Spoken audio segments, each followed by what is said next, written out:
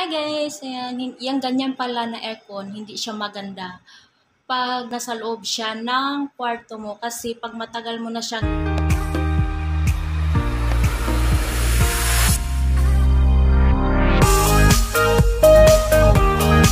Hi guys!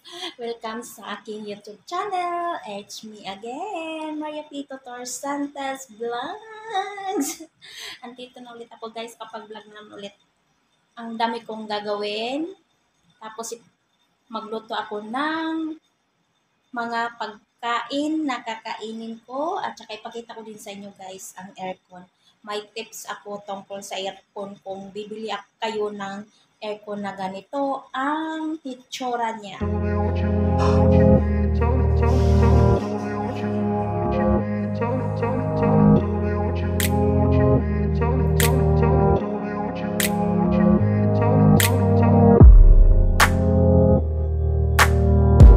Ayan guys, nagluto ko ng sago. Nilagyan ko siya ng food coloring na red. Ayan guys, nagluto ako ng sago o tapioca seed. Nilagyan ko siya ng color coloring na yellow. Tapos, ayan guys, kakain ako ng bilo-belo.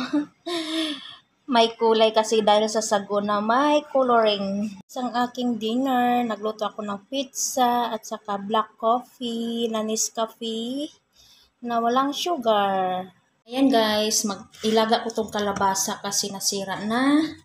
Ilagay ko lang siya dyan. Tapos mamaya lagyan ko siya ng tubig. Guys, nakasalang na siya. Ilagay ko na itong water.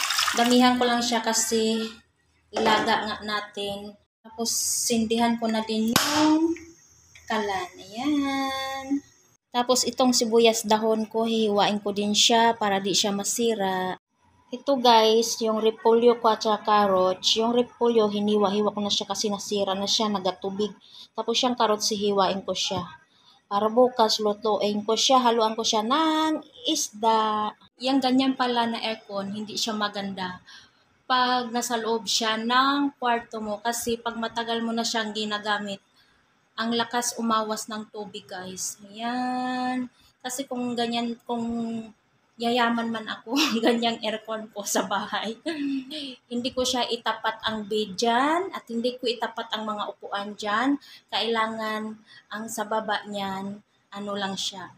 Wala siyang mga gamit kasi yan ang dahilan yan may plangganang naka salod dyan ayan no ang lakas ng ano yung tubig niya pumapatak galing dyan sa aircon na yan maganda siya kasi sobrang lamig at saka ano pag matagal mo na siyang ginagamit grabe day ang bunga-bunga ng tubig niya umaawas dyan sa parang ceiling fan niya or yung ano bang tawag niyan pag yung tinatawag yung i-swing mo yung ano niyan sa aircon ayan dyan siya lumalabas